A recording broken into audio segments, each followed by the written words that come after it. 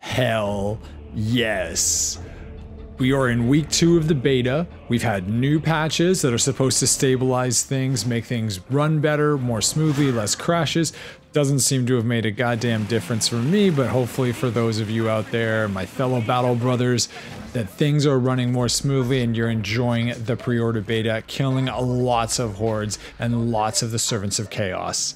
We are hands-on with one of the new missions. This is Smelter on Malice difficulty, which is difficulty number three. And as you can see, we are finally hands-on with the chainsword. This is the first time that I'm actually playing it in the in-game. Like, forget the tutorial mode. This is me, like, actually hands-on. And I'm doubling it up. We're going full close range because I'm doubling up, for better or for worse, with the combat shotgun. Now, before I just start oozing about how much I love this goddamn chainsword. This weapon is so good. And of course, one of my teammates has a goddamn eviscerator and I'm so jealous. But uh, spoiler alert, there might be some more videos in the works later this week with some hands-on gameplay of some other weapons and maybe, or maybe not, the Eviscerator will be included. But I did actually want to uh, just talk a little bit about this combat shotgun because I've played a lot of FPSs over the years and that is a really sexy shotgun. Like this shotgun is really, really cool. Its alternative fire apparently loads specialized ammo, like one specialized ammo shell um, into the chamber. Uh, but it, I don't necessarily know what it does, like if it does a little bit more damage. Initially, I thought that it was almost like a sniper shot, like it would be a more effective long-range shot. But after testing and playing around with it, that doesn't seem to be the case. However, it is a zealot's best friend in many respects because there are times when you come face to face with a special infected. Yeah, I'm still calling them special affected. I don't really know what else to call them yet. And you don't have your ability. Your ability is on cooldown, and you either uh, don't have the health to continue maintaining or uh, maintain or sustain a close quarter combat fight. And case in point, this shotgun can really just go to work. Like it's full auto, nine rounds, and uh, the range overall is actually pretty good. And there's a couple times where it has absolutely saved my life. But for now, I am getting my absolute ass handed to me. I actually cannot believe that I didn't go down there. We're definitely off to a shaky, a shaky start. But you know what? Two of my teammates are already down, so you know what? I don't feel so bad. All right, so we finally managed to uh, get one of our special infected down. Oh, one of our teammates has already died, and there we go. There I go. It was only a matter of time before I went down, which is unfortunately. But, uh, I mean, that comes to the territory of playing like a pure melee build. You're really at the mercy when you're playing on these higher difficulties, and you're starting to encounter some of these groups with more long-range enemies. But you know what? Like, that shotgun is just too much fun. It is sexy. But really, I digress. The point of this video is to talk about that goddamn chain sword, baby. Holy shit, I love this weapon. And just playing around with it, I'm like, ooh, this is so much fun. And you can see there's so many times where I literally am just running around and I am just, I don't even know what I'm doing. Come on. We gotta, what are we doing, Broly? We gotta chainsaw some of these fools. Oh, here we go. Oh, let's go. Uh, unfortunately, I got interrupted there, got interrupted out of the animation. And you can see I actually do this quite a few times. I was trying to master um, the actual swing and the sawing motion. Um, for whatever reason, like the natural inclination when you have the chainsword revved and you go to swing and you really want to dig the saw blades in is you think that you have to hold down. Like to, it makes logical sense, right? Um, but it's actually not the case.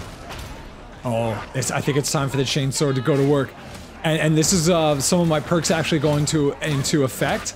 And you can see them uh, being quite effective here.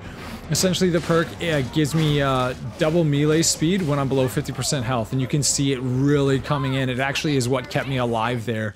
Um, in combination with uh, their grenade. The Zealot class, very effective when it comes to nades. And uh, hey, we just picked up a health crate, which is fantastic. So, so far, so good. And you know what? Like, I'm a little bit low on life, but at the end of the day, Zealot, like, my job is to put myself, or at least my playstyle is to put myself between our enemies and the hordes of chaos and the rest of my teammates, right? So if I have low health, and I'm swinging away and I'm, you know, just doing everything I can to just be that human shield, then uh, that's fine. I don't mind taking a bit of extra damage. And uh, all good. We actually ended up finding a, healing pod anyway. But as I was saying, with the actual sword, what I found really surprising is that uh, you actually don't, once you actually swing the sword, you don't actually have to continue holding down the uh, left mouse button um, or your attack button or whatever, uh, in case you're playing on controller or what have you. You don't actually have to hold down the button for the sword to dig in. The actual game will do that for you, um, which is fantastic. So really all you got to do is uh, activate the special ability and swing away. And the cool thing is that uh, it can actually combo and you can do it out of a sprint. So especially in conjunction with the Zealot's ability, you can really cover quite a bit of distance quite quickly, rev the sword while you're closing the distance, and then just start sawing once you get close. And you can just see it's just absolutely chews up these enemies, no pun intended. And then of course I have my trusty shotgun as a sidearm because let's be real, the primary weapon when you're using a chain sword is the goddamn chain sword. Hell yes. But of course, this is actually a, a really cool build that we have a, a, lot of interesting dynamics actually on this team. I think this is a triple zealot team. And of course, this flamethrower just doing so much work. Um, there's actually a, a, level that I recorded or a mission that I recorded after this where I went back actually. I retired the shotgun as much as I did like it. Uh, I do admit that it does have a lot of weaknesses. It is very fun to use and it is a very sexy shotgun as far as shotguns go. Uh, but uh, it has a lot of weaknesses in terms of long range. It's really a one-on-one. -on -one. It's very good at isolating a single target and just doing lots of damage very, very quickly. Whereas the flamethrower is just so effective on mass groups. You can just see how much work our my uh, co-worker or my, co my teammate is doing with that flamer. It is worth mentioning as well that this is actually my first time playing this level, and uh, overall I'm actually really enjoying it. Um, so the new levels are Smelter and uh, Power Matrix, and I had the opportunity to play both um, multiple times actually this evening, and um, I'm really enjoying both of them. Um, they're actually very refreshing in, in uh, above and beyond like the uh, the four or five levels that we actually had with uh, the initial release last week. But uh, this is actually my first time, my very first time actually playing this level. So you'll notice that I am at the mercy of my teammates a little bit uh, just because of my lack of familiarity with the level, what the actual mission parameters are, and what the different objectives are in each of the various rooms. So you know what, for what it's worth, I mean, shoutouts to Fatshark because while there's uh you can definitely argue that the pre-order beta is, is a bit of a disaster. I mean, for I feel like for as many players that are actually able to play, I feel like there's two or three times that, or at least that's the impression I get from reading comments online and reading reviews on Steam. I feel like for every player like myself and, and these guys that are actually able to play the game, there's a lot of them that are actually having issues. But for those who are actually able to get uh, hands-on, oh yes, that's what it's all about. Oh my goodness. Um, I, I, do actually really appreciate the staggered approach to the beta because uh, it's just given me the opportunity to break the game up into chunks, play, you know, the first, uh, I think I played the first five games, uh, or sorry, the first five levels and the, the different missions uh, for the better part of 20 hours, right? So you, uh, it does start getting a little stale once in a while, right? Which is to be expected. I mean, uh, that being said, I've really primarily been playing the Preacher and I do actually want to expand out before the pre-order ends. So you can definitely expect some other videos of me playing some of the different classes. I, I've tried tried them all at least once, but I do want to level them up and start to get some of the more um, specialized weapons for that class. Uh, so for example, I have a level 7 sharpshooter and I think my Psyker and Ogryn are both level 3. So starting to scratch the surface um, and just to get a little bit of a feel how each one plays. I do feel like the classes are pretty different in terms of their play style. The Ogryn especially and the Psyker. I've seen some absolutely disgusting builds of the Psyker. And you know, some, some of these guys are running around with force lightning and just absolutely laying waste to just hordes of enemies, special infected like it doesn't matter. A little bit of a frame drop there. But uh, yes, I mean, overall, I mean, this squad is just making quick work, just hacking and slashing our way through. And um, one of the cool things as well that I wanted to point out is that um, there's a lot of like this game is oozing with details. Like not only do the environments like feel like give you the impression and the aesthetic and the feel that you're just in these absolutely monstrous facilities, like this larger than life world of 40k, and it's so immersive. You know, the enemy design, the voice work. You know, I feel like you almost never hear the same voice lines twice, which is pretty crazy considering you're putting 10, 15 hours into a character. Um, and you know, there's so many unique voice lines, right? And that's definitely something that uh, Fatshark said is, and that they were very proud of, is that they had all of their. Sorry, I'm just. Uh, I'm just enjoying the uh, enjoying the gameplay, like just with that shotgun. Like case in point, if you my ability was on cooldown there, and I literally have a fully loaded shotgun, 10 shells in the chamber, and just unload on the special infected, right? So um, pretty cool backup weapon, um, but yeah, definitely not without its weaknesses for sure. Uh, but overall, like um, definitely with the way this uh, the staggered launch of the beta, I'm actually curious to see how things are going to look um, in the last week of the beta because I think there's going to be a couple more new additions in the last couple days of the beta uh, next week um, which I'm looking forward to as well. I think there's going to be new worlds. And then, of course, on the actual launch day, when we're fully hands on with all the features in the game, uh, it's going to be interesting to see how different it is. And of course, it'll be interesting to see what the future plans are for the game as well. There's a lot of speculation in terms of, you know, are these going to be the only four classes in the game? Are there going to be subclasses? So, for example, instead of a, uh, a zealot preacher, is there going to be a zealot marauder um, or a zealot paladin or, you know, whatever, right? Um, veteran sharpshooter, is there going to be uh, a veteran? Um, oh geez, I have no idea, a veteran scout class or something like that. Um, I feel like the sky's the limit with this, and I think you wouldn't have to do much. Even if uh, each class had uh, multiple abilities to pick from and multiple grenades to pick from, I feel like that could actually change the playstyle up in combination with the different perks.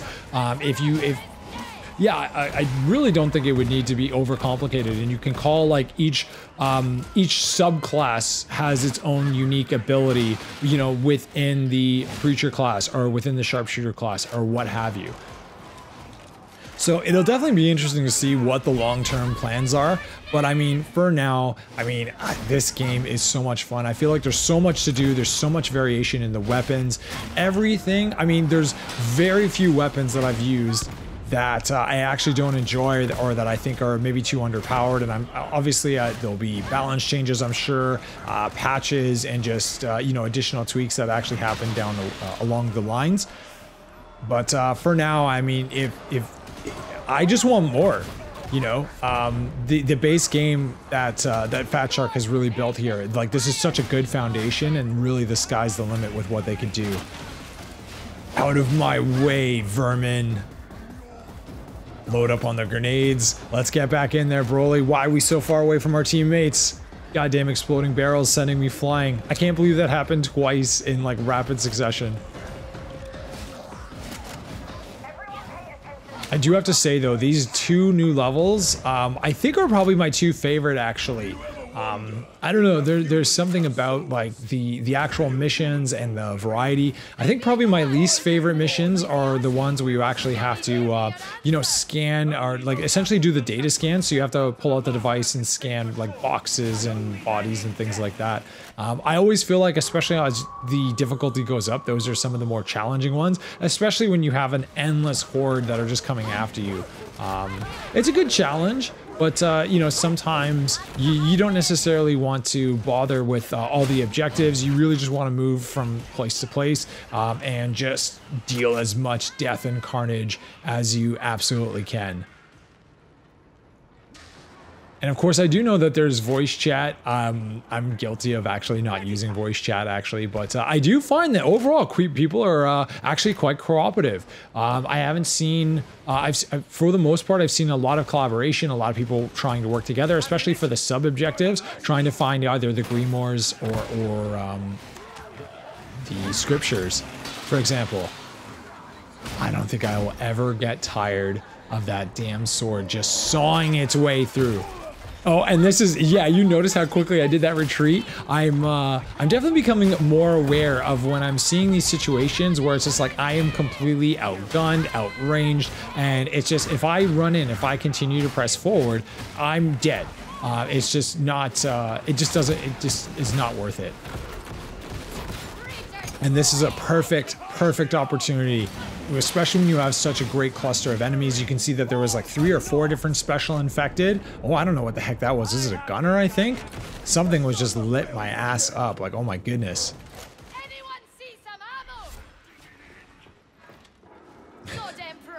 I do I do love that though. Has anyone seen some ammo? Oh yes. And I'm not sure if you've noticed actually, for whatever reason, the subtitles, I actually haven't seen this in any of my previous mission playthroughs before. For whatever reason, the subtitles actually glitched out and it's just stuck on, we're outnumbered. And if you recall, that actually came up, I think, within like the first five minutes and it rides its way through pretty much till the end of the mission which is uh, a bit of a bit of a glitch. But you know what? I didn't get disconnected. Uh, the game didn't crash. So you know what? I'll take the subtitles misbehaving a little bit. Uh, that is completely fine.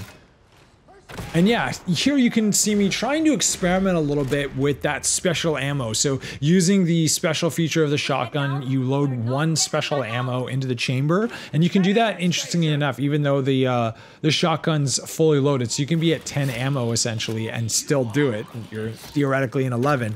But what's interesting is when you do it, um, the ammo count actually resets to nine, and then as you load in the the special ammo shell, it goes back up to 10. So a little wonky in terms of its behavior, but if anyone does know what it does. Um, I obviously it doesn't increase the range. It's not like a long range like sniper shot or anything. Um, it must be uh, some kind of specialized like more powerful shot. Um, but if anyone does actually know the specifics, please let me know in the comments actually because I'm incredibly curious. And here we are actually in the uh, final room. And this is a really cool area. This is a great last stand area. Um, just it, it's just one of those where it's like you do have a, a, horde running like essentially coming at you nonstop. You have lots of special infected. It's just a really cool area as well and just in terms of its level design. Yes. Slice and dice baby. Ha I don't think I'll ever get tired of that. And then, of course, uh, you know, this is only the tip of the iceberg. I specifically picked the Preacher so I could get my hands on the two-handed chainsword, which I just recently learned was called an Eviscerator. And ironically, actually, I'm actually um, reading uh, some of the Warhammer books, and it was like, I just found out that the two-handed chainsword is called the Eviscerator, and like, lo and behold, the next chapter of the book there's a guy who's actually using an eviscerator and they refer to it as an eviscerator and it's like hey i now know that what that was so really cool that the community is coming together um, and i'm already starting to learn more actually as i start to interact and make more of these videos. Uh, you know what? The world the, the warhammer 40k universe is really really cool. There's a lot of really cool tech. Um, there's a lot of really cool games out there and uh, yeah i cannot wait to continue digging into this game more. There's so many guns that I want to unlock. Like, I want my hands on a bolter. I've seen some of the uh, some other content creators that uh, got early access to the game, and they already have a max level, you know, sharpshooter or character or what have you, and they do have the bolter rifle. And I mean, the bolter just looks absolutely sick. Okay, here we go. I need to clear out some space. Get my teammate up.